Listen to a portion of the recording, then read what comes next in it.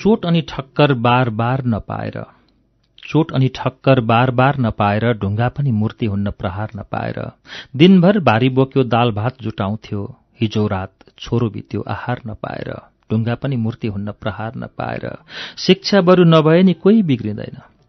छोराछोरी बिग्रने हुन् संस्कार नपाएर ढुङ्गा पनि मूर्ति हुन्न प्रहार नपाएर धन होइन मन हेर्छु भन्थी भन्न त।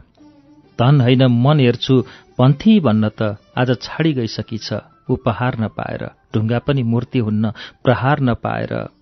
सानै छँदा बा बितेछन्। ऊ ठूलो मेहनतले डाक्टर बनेको छ। ऊ ठूलो मेहनतले डाक्टर बनेको छ। सानै छँदा बा बितेछन्।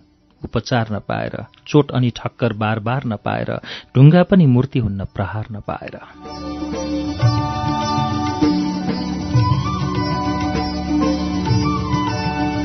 धादिङ थाक्रे तिनका नवराज पुरीको गजल थियो यो। यसलाई मैले वाचन गरेँ। नवराज पुरीको गजल वाचन